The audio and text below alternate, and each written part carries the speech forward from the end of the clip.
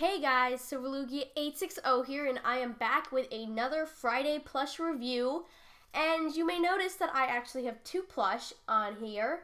And I'm going to review two this time. Since I didn't do a plush review last Friday, I am going to do two this time instead to make up for it. And these two are so adorable.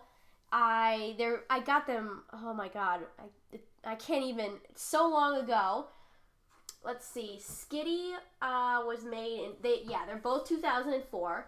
Poor Pichu, unfortunately, I cut his tag off, his tush tag. So poor Pichu is completely tagless because when I was a little kid, I did not like tags at all. Which, you know, oh well, but Skitty has her tush tag, but not her tag tag, but they're both super cute. They were made by Hasbro back when Hasbro made um, the plush that you can that you that were in like Target and Walmart and stuff like that.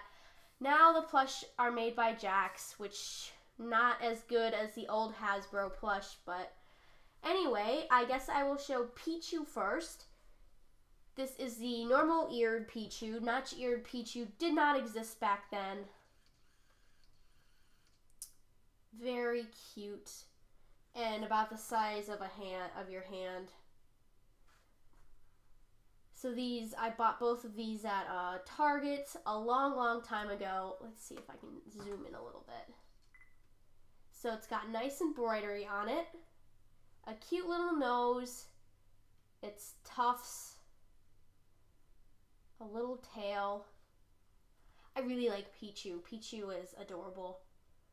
I probably, well, I think Raichu is my favorite of the three, but it's probably Raichu, Pichu, and then Pikachu. So that's Pichu. Pichu! And this is Skitty. Skitty is, in fact, one of my favorite Pokemon. I loved using it in um, Ruby and Sapphire when they first came out and I will use it again because I know they have to remake Ruby and Sapphire. They just have to. So adorable little face here. Cute ears that are stitched really well. I always love this, uh, like, its little body right here. It's got some fuzz on it. It's like a little, like, not star, but it's like a shape. It's just a regular shape. And then here's its tush tag, which is upside down. So it was, these are both Hasbro. Uh, yep. And it's got a string connecting its tail. It's, uh, these are also string. These, uh, black, uh, hairs. And then these are just like, uh, felt.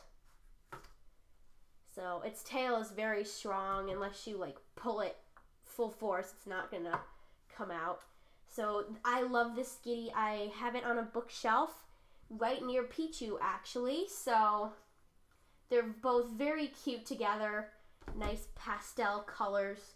Very Eastery. And Easter is coming up.